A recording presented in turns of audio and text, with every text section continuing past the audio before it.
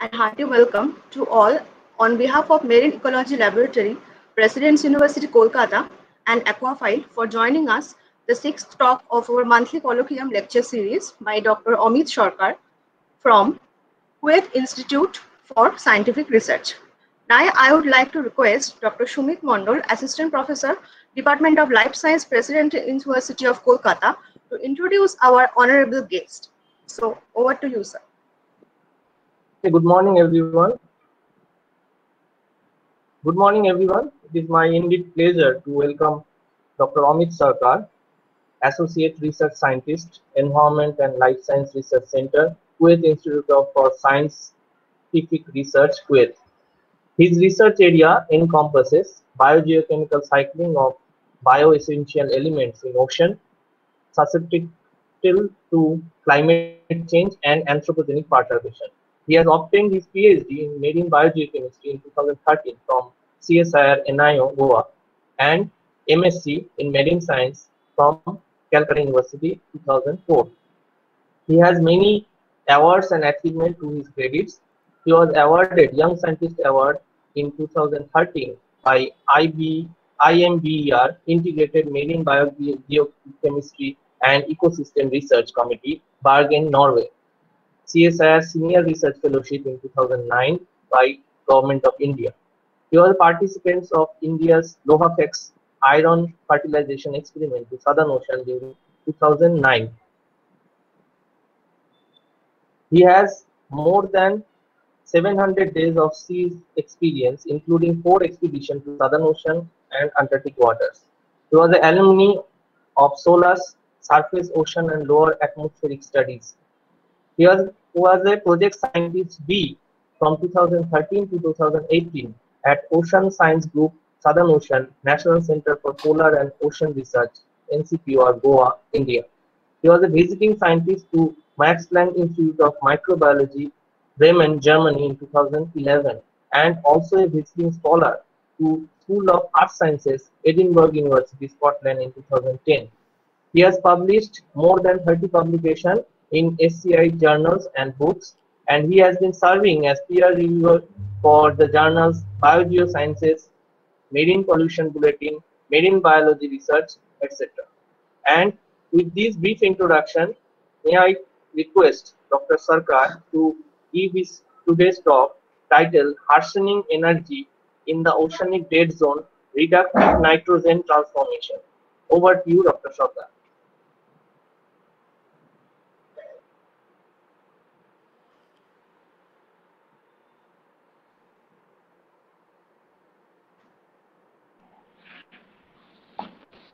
Uh, am I audible? So Yes, you are audible. uh, let me.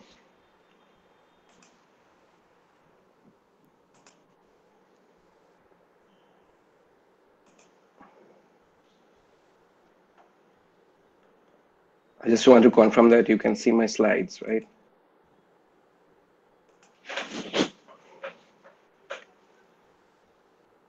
Yes, it is okay. You can start.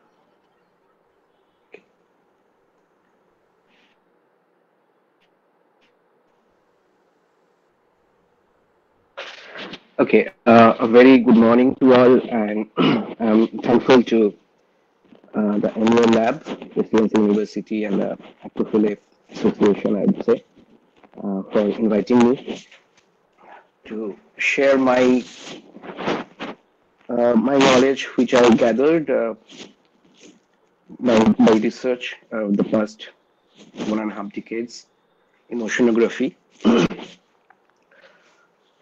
Um, so let's begin. Uh,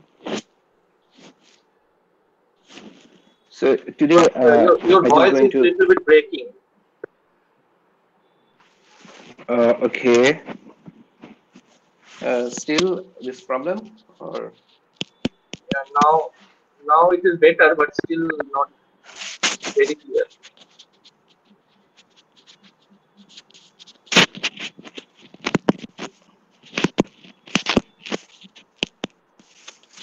well,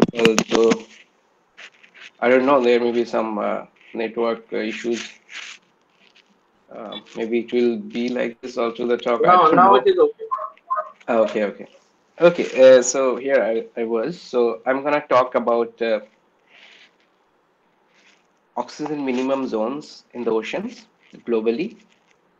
And the coastal deoxygenation is another problem, which are actually termed as the dead zones, literally, uh, but not uh, scientifically. That will come in the later stage of my presentation. then I'll talk about energy sources in the absence of uh, oxygen and how nitrogen cycling occurs in this low oxygen water. And uh, I'll give you some Indian Ocean perspective research that uh, we have been carry, carrying out uh, quite time for now. Uh, so let me uh, tell you that why uh, you must be all knowing. So why we study nitrogen. As we know, that is a structural element of amino acids and the nucleides, and it is it has many uh, oxidation states, and uh, many species can be found in uh, in the ocean, starting from the nitrate to uh, amines and ammonia, like that. And so nitrogen is an essential uh, nutrient uh, for any life to build. And if you like remember what we studied in when we are pretty young in school and all, so we knew that photosynthesis is uh, just by a simple equation that 6CO2 plus 6H2 is, is the sugar and the oxygen that has been released, but it's not that simple. Uh, we need additional nutrients like uh, nitrogen, phosphorus, uh, and in case of ocean, and also particularly for the land, I'll say silicates uh, for the diatoms, uh, and the, for the bamboos on the land. We need iron, we need vitamins. So nitrogen acts as a very essential nutrient uh, in the ocean, and uh, there are two aspects of nitrogen. When we have a excess nitrogen uh, available in the ocean surface, and if you have that uh, accompanying other nutrients, the phytoplankton blooms like anything. And uh, this particular uh, thing is called the uh, ocean eutrophication, the sudden uh, growth of high phytoplanktons. And what happened is when this uh, phytoplankton dies in the surface and they sink down below the euphotic layer or the, the dark zone of the ocean, where light cannot penetrate, where respiration is very high and uh, oxygen has been con com, uh, consumed to decompose this organic matter. And and some places, this respiration rates is so high that oxygen is totally consumed and a traditional by a traditional method you cannot uh, measure this uh, oxygen. And those areas are called the oxygen minimum zones which occupy around 10% of the surface area of the global ocean. But its impact on the nitrogen cycling is huge which i will come in the later part of my presentation so where uh, the OMZs are found is basically along the eastern tropical North Pacific, eastern tropical South Pacific, South Atlantic, and northern Indian Ocean. These areas are the most productive areas in the world ocean. As you see here, uh, this is uh, my on the downslide. It's it's the uh, Pacific and the Atlantic, and you see the chlorophyll concentration is pretty high at this region. So what happened exactly here? It's, it's uh, also called as a eastern boundary upwelling system, where there's a winds come for north, and there's a displacement of the surface water due to a strong current, which also induce uh, Ekman pumping, uh, which caused the upwelling of the water from the below of the ocean, uh, which generally has a low oxygen to start with, but very high night uh, nutrients. Then uh, it comes up and it's induced the productivity. And then in turn, as I told just uh, in my earlier slide, so when this phytoplankton dies and then sink, there's oxygen consumption also occurs in the uh, below the euphotic zone, which we also call sometimes mesopelagic region. And it forms the oxygen minimum zones.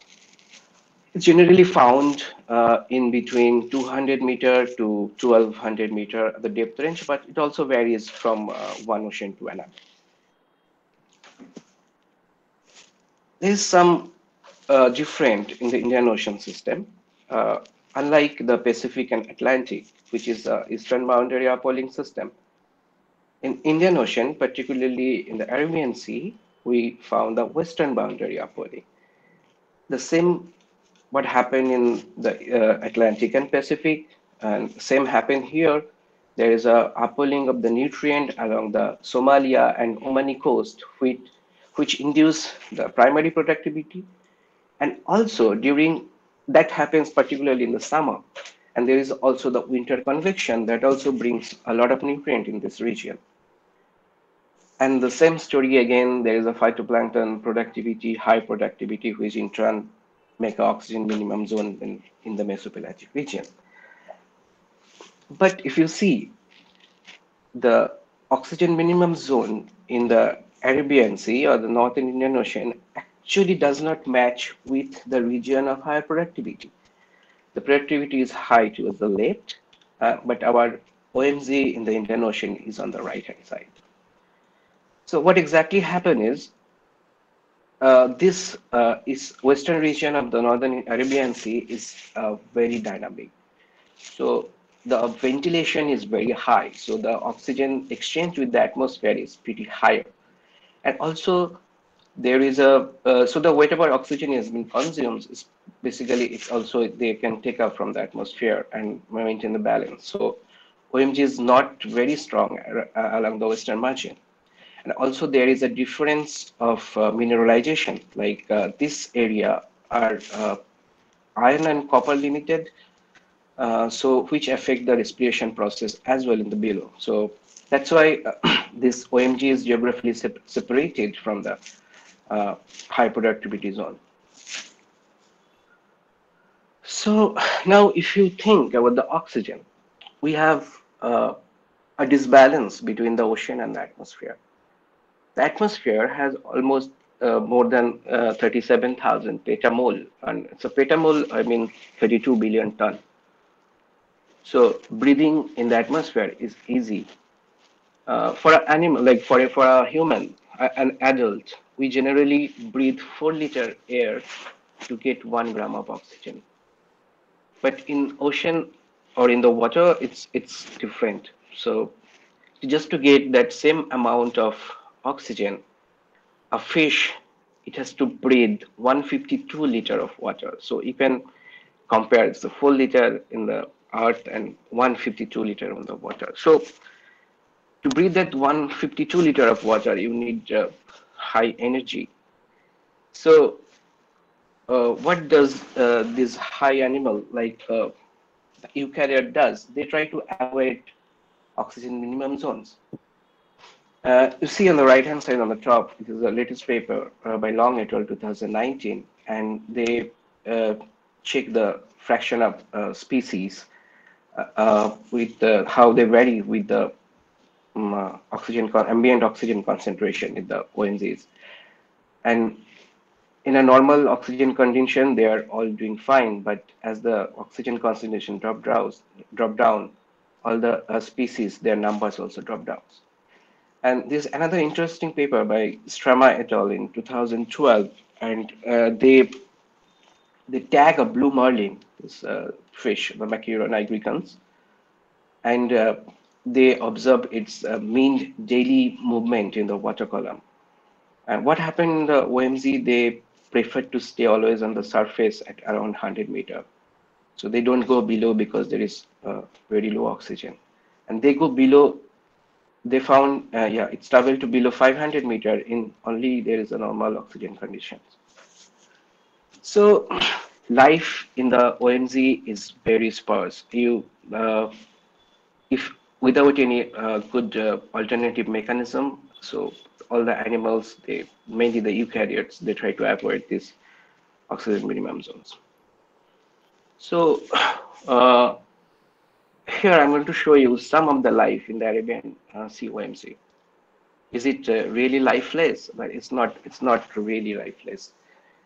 Uh, so I had a chance to uh, dive in the Arabian Sea OMZ in back in 2008, and we are doing a project with uh, JAMSTEC Japan, and uh, they bought submersible which is named the Shinkai 6500, and it was I think back in October, and uh, I could uh, dive once. And these are the fun, funny cartoons uh, made by one of my peer, Dr. Greg Carey from Edinburgh, and he termed himself as Aquaman. Man, there was not much of uh, uh, like uh, hype of Aquaman at that time because DC had not uh, launched this uh, series of movies.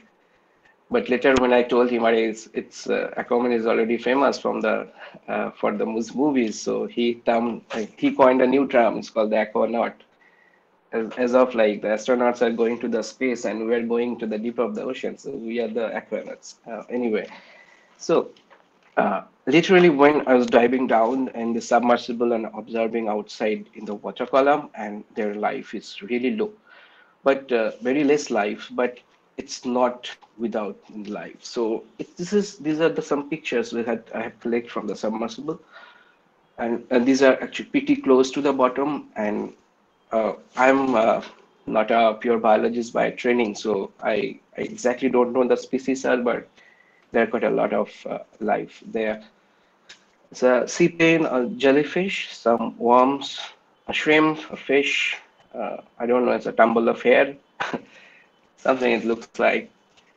Uh, we some uh, crustaceans, which we tried to catch with the robotic arms, but we couldn't succeed. But we got some ophiuroids. Uh, and at the first glance, I saw it's a UFO uh, sitting in the bottom of the ocean. But later we understand this is the experiment we're doing uh, to measure the uh, water oxygen fluctuation. It's called the benthic lander, uh, equipped with many sensors, and a fish was passing by to that. So how this life this survives in this ocean? So these are the main theories by Dr. Lisa Levin from Scripps USA. Uh, so they have very lower metabolic demands. They go for anaerobic, ana anaerobic metabolisms. Uh, they perform chemosynthesis, and they do symbiosis, like endosymbiotic uh, relationship with some sulf uh, sulfur oxidizing bacteria, or the episymbiotic relationship. They also uh, try to live inside the uh, sediment. They try to make their own uh, micro niche for their survi survival uh, I just remember one thing like Dr. Lisa had mentioned. They found a lot of polychaetes. They were gutless. So they don't feed. Uh, they don't have uh, this uh, intestinal system. So they completely depend on the symbiosis with the bacteria or the prokaryotes that actually flourish in these uh, oxygen minimum zones. Now, when I talk about prokaryotes, and if you see the world's uh, evolution. The life has begun 4.5 billion years ago on this earth. But oxygen came later. It came around 2.5 billion years. So life was sustaining on the earth in the absence of oxygen for almost 2 billion years. So how they're uh, like, what are the sources of electron acceptors to get the energy at, at that 2 billion years? so uh, this is uh, how respiration occur. Is uh, so we need oxygen to burn the food to get energy. And uh, when we take oxygen we produce around 402 kilojoule uh, energy uh, inoxic respiration. but there are numbers of electron acceptors are available in the water, which the prokaryote, mainly the microbes, were using in the starting of the earth evolution. And those are like nitrate, iodate, sulfate. There are manganese oxides, iron oxides, and the CO2 itself, which uh, produce a methane then, or the fermentation process, you can say. So when the microbes use the nitrate as an electron acceptor, this uh, nitrate has been converted to N2 by a process called the denitrification. So uh, these are the uh, alternative respiration process in the oxygen minimum zones. And if you uh, see like the energy yield, so when uh, we the microbes use nitrate by denitrification, it's the energy yield is almost similar to uh, to uh, compared to the oxygen respiration. So nitrate is the most preferred uh, alternative oxidant for organic matter in the OMZs. And then comes the manganese, iodate, iron, sulfate, and then methanogenesis, as I told you. so, uh, so these OMZ, oxygen minimum zones that I just showed you, they are they they call the perennial. They are the permanent oxygen minimum zones in the global ocean. In addition to that, there are several hundred coastal localized oxygen minimum zones, or they call as the dead zones, all over the world. It has a adverse effect of fisheries because uh, it, it's the results of uh, anthropogenic nitrogen input in the coastal areas, which in turn uh, make the coast eutrophied, eutrophied and there the toxic blooms occurs. It's uh, you you if you see the paper, there are many news comes from China, the huge huge blooms. Uh, there's a loss of economy uh, due to those blooms and the fish mortality, and these are the hotspots for the greenhouse gases like N2 and methane, which which greenhouse potential compared to CO2 is 100 to 1000 times higher. So as I'm telling you, how uh, these localized zones are formed, and the credit goes to these three gentlemen. You uh, heard of Haber and Bosch process. This was invented in 1905, where they showed how ammonia, uh, sorry, nitrogen and hydrogen can be bound together to produce the ammonia. And Norman Borlaug is the pioneer of green revolution in 1940s, where this Haber-Bosch ammonia has been used largely in the fertilizer and used in the in the agricultural sector. And there's a saying, the great saying that nothing first enters the life of mortals without a curse. So what is the fate of this Haber-Bosch uh, ammonia? There's a production, as I was telling that there's a huge production of Haber-Bosch ammonia. You can see from 1940s to, there's a data from till 2015. Uh, a little bit uh, high and, uh, and low, but it's the completely increasing trend. And uh, developed and also developing countries, there uh, the production is pretty high. These from report from 2017-18, and we are here, uh, India. We are less, uh, very low compared to China, but uh, we are pretty similar compared to US and Russia. and this is the synthetic fertilizer, nitrogen fertilizer use usage in the coastal state like Goa and Karnataka, what I was studying in back in uh, yeah 2008 10 starting from and there's an increasing trend of fertilizer in the agricultural sector so when this nitrogen fertilizer has been produced by Haber-Bosch process and the nitrogen that we consumes there are many steps so the fertilizer has been produced the fertilizer is used consumed by the agriculture then this nitrogen is transferred to the core, then harvested, then it's converted to the food, and then food we consume. And at every step, there is a loss of nitrogen. It has been estimated that 40%, 14% of nitrogen that has been produced in Haber-Bosch process that enters the human mouth if you're a vegetarian. And it's only 4% for a non-vegetarian. So it's totaling to 18% and 82% basically lost into the environment. So from this agricultural sector, they make their way, this 82% of nitrogen, in through groundwater aquifers, through streams, through rivers, and they finally ends at the sea, which causes the coastal eutrophication and forms these oceanic dead zones. Also, if you see, and and the dead zones means there is huge denitrification is occurring and is altering the nitrogen cycling. If you compare uh, the present climate change scenario, uh, which has started from the industrial revolution in, since the 1700th century, and it took more than 100 years to alter this global carbon cycle, but it just took like less than 50 years to change the nitrogen cycling, uh, starting from the Green Revolution in 1940.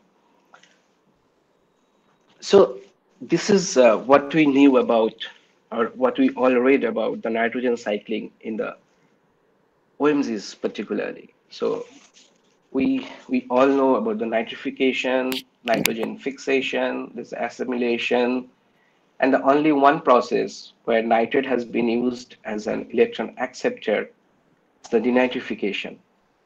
So what is a sequence? Denitrification is a sequential pathway. So where nitrate convert to nitrite, then nitrous oxides, uh, and then gaseous nitrogen.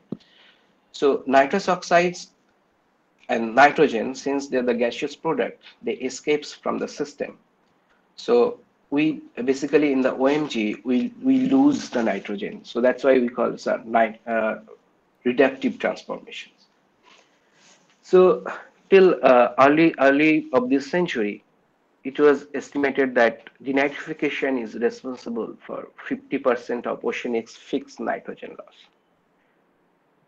So if ocean lose nitrogen, uh, if, if, you think the big picture, like then upwelling water will have less less nitrogen later, because this happening in the mesopelagic zone. So it will affect the future productivity of the ocean also and the carbon dioxide sequestration. So also you can see in the right plot I have shown the this N2 that has been produced from the denitrification. Is really high in the OMZs. so but there is some glitch. If we uh, if you see the denitrification equation this is the organic matter and then nitrate has been used to respire this organic matter and the product is carbon dioxide ammonia and gaseous nitrogens in product and we other uh, along with water and the uh, phosphorus some of the phosphates now few of the OMZs, it has been recorded that so if denitrification occurring, there should be a product of ammonia. So the few of the OMZs, there is no ammonia presence. So what is happening here? Where, the, where are the all ammonia gone? This was bugging the scientist, and it happens like uh, not uh, very, not in very past, like it's very recently, it's 2005 2003 to 2005 during this time. So there's another pathway. This was first was found in a lab in Netherlands. It's called the ANAMMOX or the anaerobic ammonia oxidations.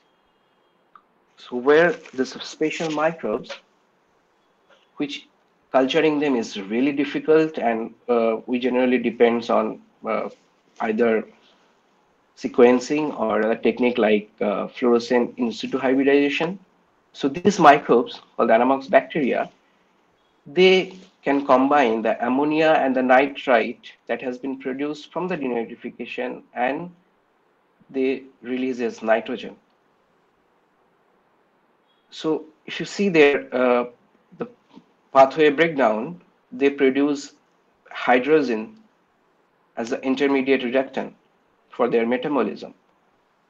This fuel, hydrogen, is used as a fuel in the rockets. So you can imagine energetically how efficient these bacteria are. They are harnessing energy in the OMZs. So then the scientist community who has the interest in the OMZs, they all started uh, doing more research and try to find these anammox bacteria in the oxygen minimum zones. So there's a big conflict, and they found it in the, uh, in Chile, uh, Chile uh, the South Af South American coast. They found in Peru. There's some report from the Somalia and Oman Omani shelf, and there's a big debate. So that which process dominates in the ocean for the nitrogen loss? Is it the anammox or is it the denitrifications? So this is how the nitrogen cycling looks in after 2005. There's a new pathways has been uh, incorporated like anammox, just what I told you. There is another pathway called DNRA. It's the dissimilatory nitrate reduction to ammonia, where these occur outside of the cell. They don't uh, take up this ammonia for the organism growth. They and also uh, as the denitrification has the many step, there are many enzymes involved. And is there any lack of enzyme? So denitrification may stop in between. So another pathway that I have not uh, shown in this uh, in this cycle. Uh, so there is it also happened like there will be only nitrate reduction to nitrite in the ocean, and nitrates one of the uh, toxic. It's a byproduct as you heard, the blue baby uh, disease, the premature baby, uh, the born is a blue color. This is the toxicity of the nitrite. So, addition to that uh, oxygen minimum zone, the permanent and the perennial that I mentioned in the Arabian Sea, we have another additional coastal dead zones along the western coast of India. This is seasonal. If you see the oxygen panel here uh, in the orange color, so this oxygen deficiencies start during June or early June, and it's sustained till September to early October. This is the region where there's a high, very high nitrous oxide production. And also towards the end like in september october this water turned completely sulfidic. So there is no oxygen. And also during this time all nitrate has been consumed. You don't see any nitrogen in the water column. But we see some of the ammonia developed development over here. So from the presence of ammonia it may come from uh, two uh, options like either denitrification product or maybe the DNRA, as I told, dissimilatory nitrate reduction to ammonia. Uh, so my peers, some of my peers from NIO Goa, uh, they were trying to identify the pathways, uh, in-loss or reductive pathways in this coastal system, seasonal coastal system, and uh, they found the denitrification is the is the key process. So this data was published in 2003 by Naik and uh, then American scientist Devol. And their also experiment was uh, they done in uh, 2004. So when uh, actually these experiments was carried out, uh, the scientists didn't know about the anammox process or the other process. So they could not uh, do it. So they could not identify or the technology was not not enough that time to identify or the you know, the dissect among the multiple process that occur. So this is uh, the project, uh, my PhD project I took up uh, in NIO, and we applied uh, some isotopic technique. Uh, we labeled the substrate isotopically and we measured the product uh, and, and the product differs from each process. So I'm not going into detail of that, but what we found that we found uh, all these processes in the western along the western uh, coastal western continental shelf of India, and uh, but yes, uh, uh, denitrification was the dominant process, and it's responsible from four to almost uh, 11 teragram of nitrogen loss along this coast, whereas anammox was only 0.1 2.2 uh, teragram nitrogen loss from the system. DNRA, we it was very inconsistent and uh, the rates were fairly low. And this data we just published very recently. But there's another twist in the story. So this is the work we are doing uh, of Goa, a time series experiments, where we saw the H2S build up with time in the bottom water and when you compare with the nitrous oxide data, we just saw the nitrous oxide was building just above the sulfidic layer. So there is something is happening between the sulfate reduction and the nitrate reduction. So here uh, I introduce you another pathway for harnessing energy for the microbes by chemolithoautotrophy, and it's termed as a cryptic sulfur cycle uh, by Dr. Canfield in back in 2010. So this nitrate, uh, so this bacteria, mainly alpha, beta, gamma, and epsilon, proteobacter, thiobacillus, beggiatoa, etc., they can make their own food using H2S sulfides and the nitrate. And the energy is extremely high compared to the normal denitrification and oxycrystallization. You can see it's 1,260 kilojoule per mole. So we modified our experiment. We started uh, adding additional sulfides and we saw indeed this. This is only with nitrite and you can see the difference in the y uh, axis. It's 2 micromole and this is 0.3. So H2S or the sulfide was actually uh, contributing to the denitrification or it's called as a chemolithoautotrophic denitrification.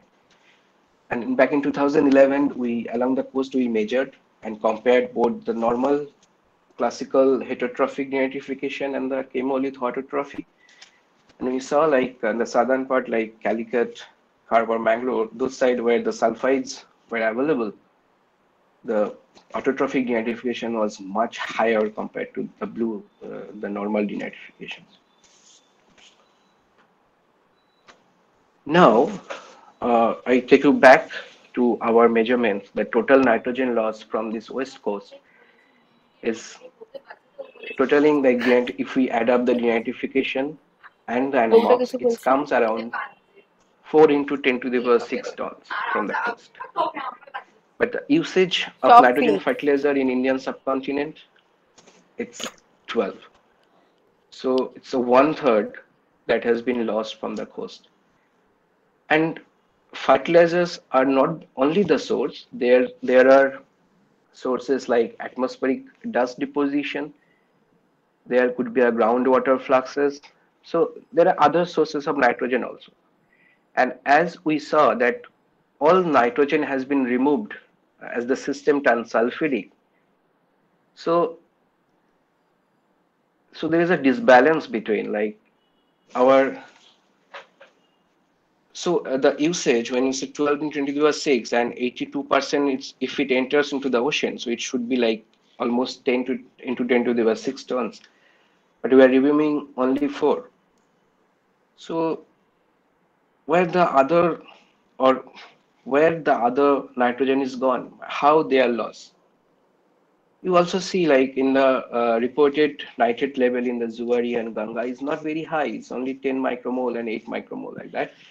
If you compare to the one of the polluted river, few of the polluted river around the globe, like in China, we have uh, 50, more than 50, 42 like that, who's fairly less in our river in, in, in India.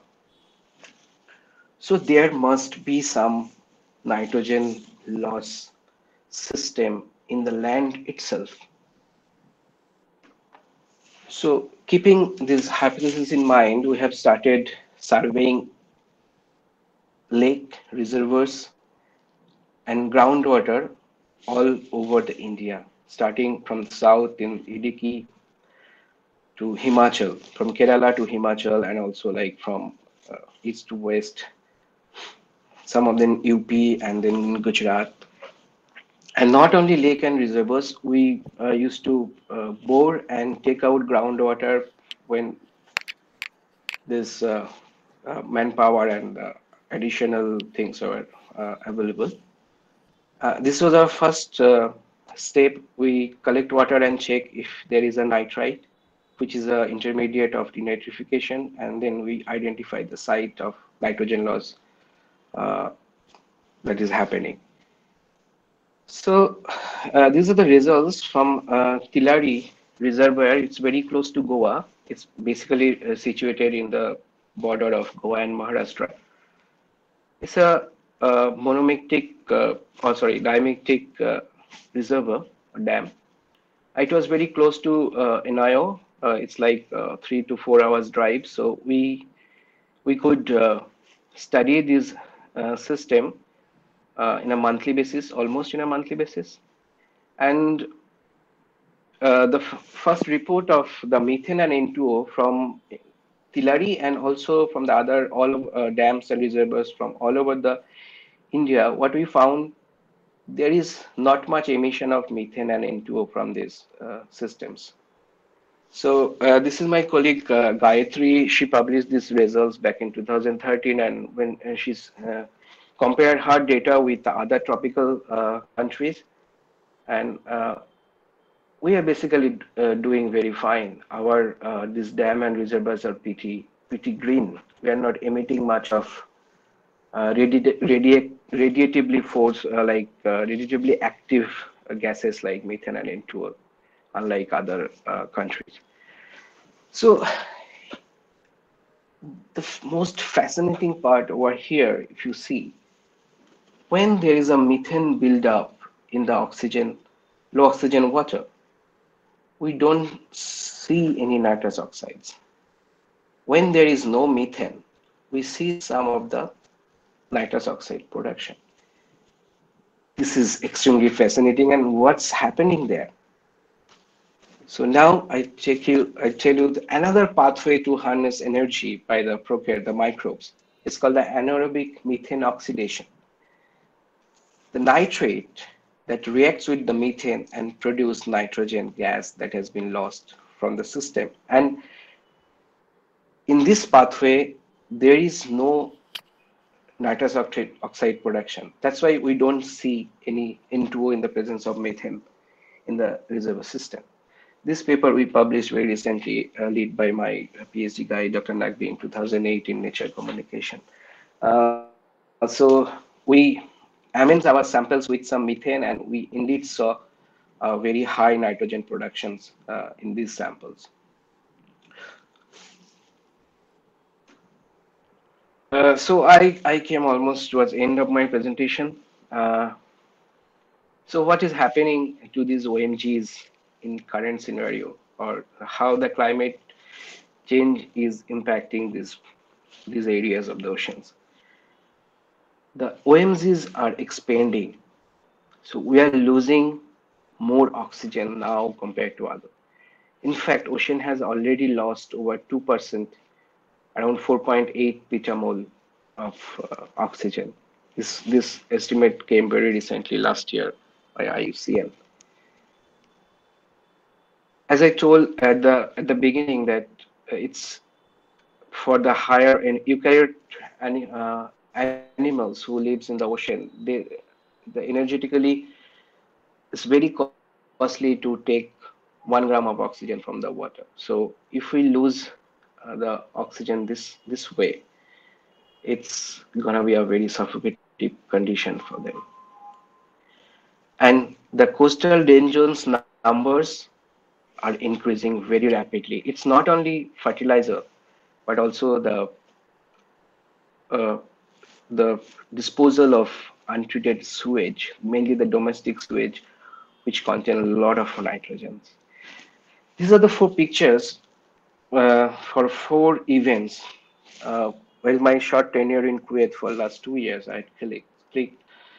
So you can see there's a, I have experienced here and uh, the fish mortality. This is the sea cucumber death. And this is just two months ago a region where there's a like in kilometers, there's a mass mortality of the mollusk. And this is the effect of uh, unmanaged uh, disposal of uh, sewage in the ocean. So ocean desoxygenation is perhaps the ultimate wake-up call on how ignoring the ocean jeopardizes the interests of us all. That is the uh, they said in the IUCN report. But it's going to be very bad for the future generations if we don't act now. Uh, this is uh, two of my uh, one is my Dr. Naqvi is my PhD guide and Dr. Professor Smetacek who shaped my career and who actually uh, acted as a catalyst to take up biogeochemistry and ecosystem functioning as a career. Uh, what Dr. Uh, Smetacek said that we human are extremely selfish. I always remember uh, these words from him. We are so selfish that this planet, where we have 75% of water, we should call it water, not the earth and you see how selfish we are we're just destroying everything in the nature. And when and professor Naqvi says one thing like uh, he says we basically lives on domestic sewage. You know the the way the urbanization is happening the population is growing. And where our septic tank are leaking they are just adding up more anthropogenic nutrients into the groundwater system. So yeah, so this is really bad, but there's some good news as well for uh, young uh, researchers like you. It's that uh, United Nations is going to announce 2021 to 2030, this 10 years is going to be the decade of oceans.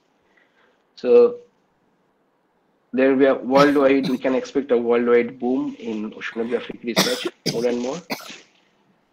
Uh, so I just, uh, at the end, I want to say, be, uh, be like very, take care of the environment we live in. And like if we are studying uh, the marine system, we have to take care of it.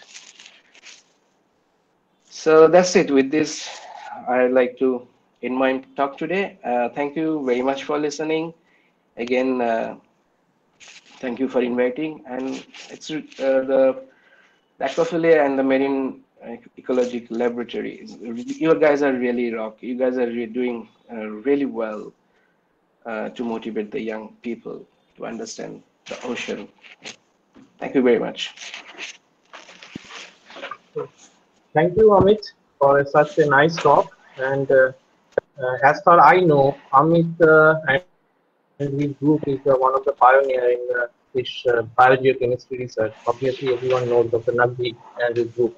And he, these groups are fortunate enough to collect samples into the submersible automation, automated machines and going deep into the uh, OMZ zone. So this is an incredible experience by them, uh, this group. I have one question, Amit. Uh, is this yeah. uh, uh, this OMZ uh, this uh, ocean uh, oxygen minimum zone? It is is there any phenomenal seasonal phenomenon is there, or it is throughout the year it is the same persistent? Um, so the perennial OMZs that what I showed at the beginning, the globally, they are permanent. There is not much change. Okay. Uh, but but some of the coastal are seasonal. For an example, like in our western coast of India, it's seasonal. It happens during only summer monsoon, and in the winter, in, again, it's mixed up. So, uh, okay. so formation of uh, uh OMZ, there are many factors like the stratification should be strong.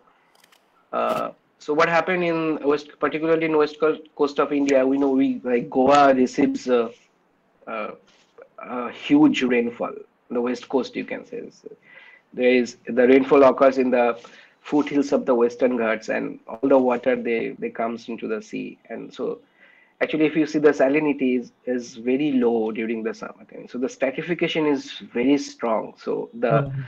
oxygen exchange with the atmosphere it's uh, affected. So that's why. Uh, uh, so it's So, seasonal. So the, So, according to you, what is the main reason of this uh, stratification and the, that OMZ zones are increasing? Is it due to the global uh, warming and or the synergistic effect of global warming and ocean acidification? Yeah, it, it's the both. It's the both. It's uh, so as we're heating up, you see, see the diffuse uh, the gas gases law of diffusibility. So in a warm water, you can hold less Hmm. gases. When it is cold and it's you can hold more gases. So as the ocean is warming, so we are losing more oxygen.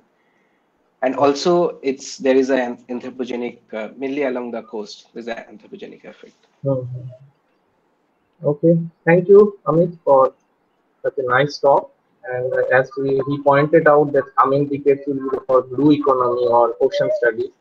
So youngster may opt this uh, oceanographic study for their future career.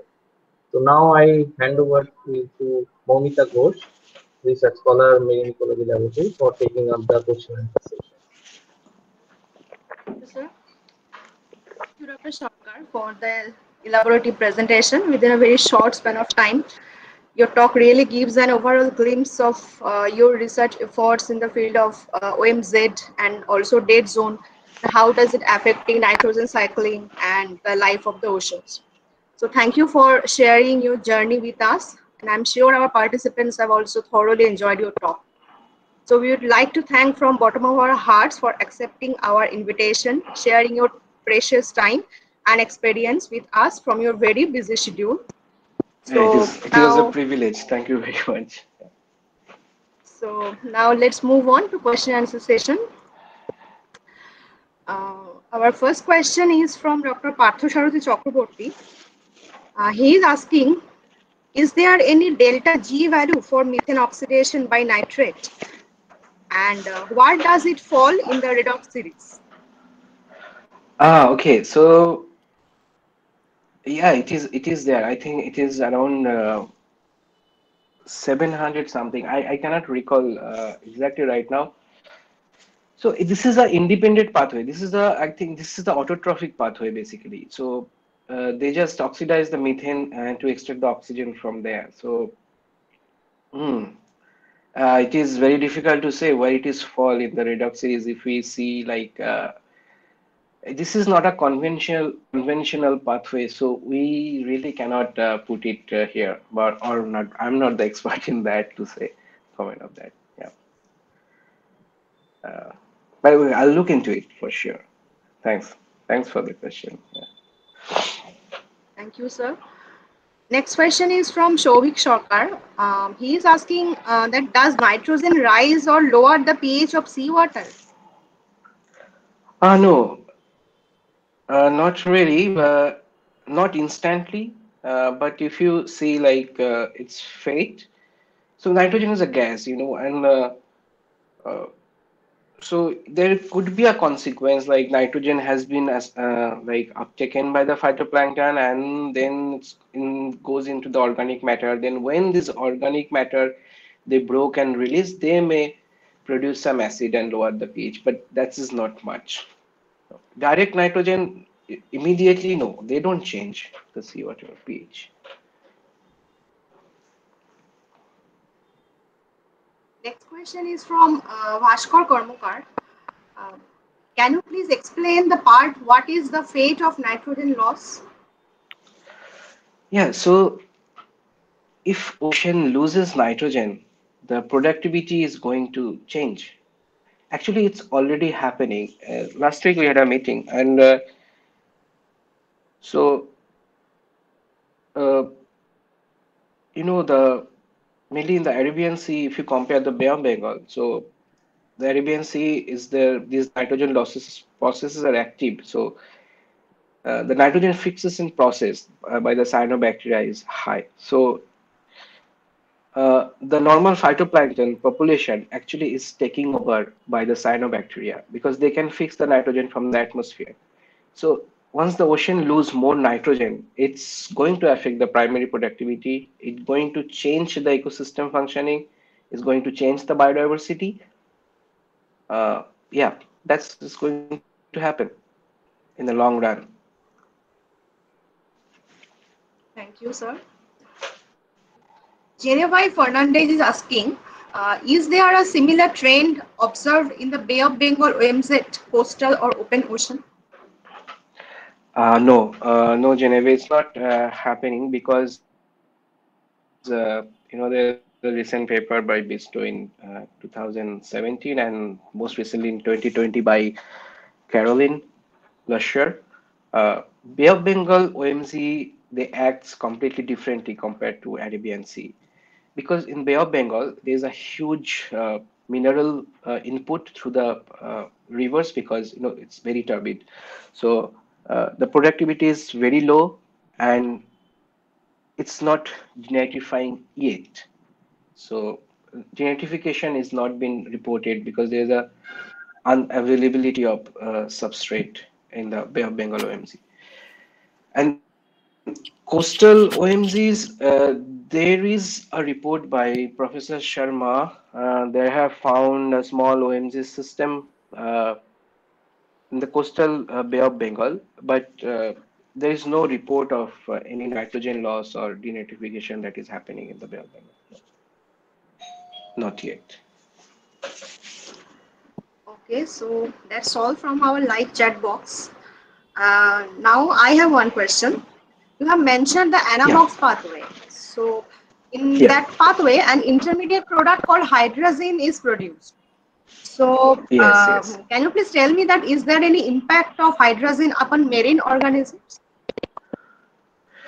Hydrazine as a compound is very toxic, but is Okay. this is an intercellular function. So if they are not releasing the hydrazine, they produce hydrazine to, you know, to get uh, use it as a reductant for the energy.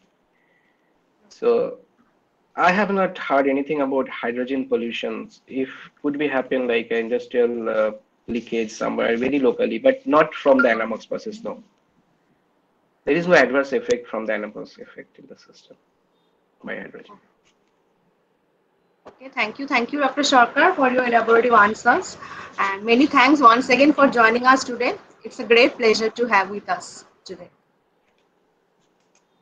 Thank you very much.